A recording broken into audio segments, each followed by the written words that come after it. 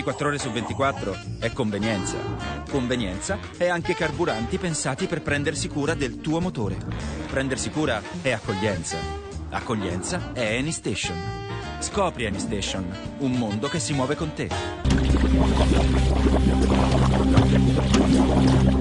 L'associazione ambientalista ERA denuncia da tempo le conseguenze dell'estrazione di petrolio nell'area del delta. A causa del clima tropicale e dell'incuria, gran parte degli impianti sono aggrediti dalla corrosione e l'olio filtra alla superficie, uscendo dai tubi delle condutture, spargendosi come un velo sia sul terreno, sia nell'acqua.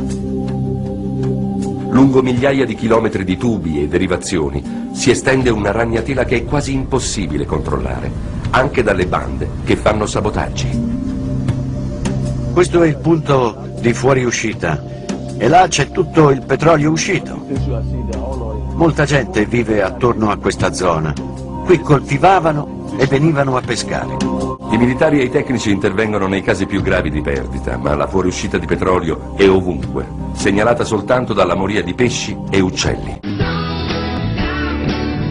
Rispetto è una parola indispensabile. Noi viviamo a stretto contatto con il fiume.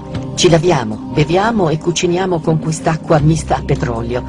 È la sola acqua che abbiamo e ai nostri bambini provoca continuamente malattie. Qui c'è ancora l'olio fuoriuscito nel 2006.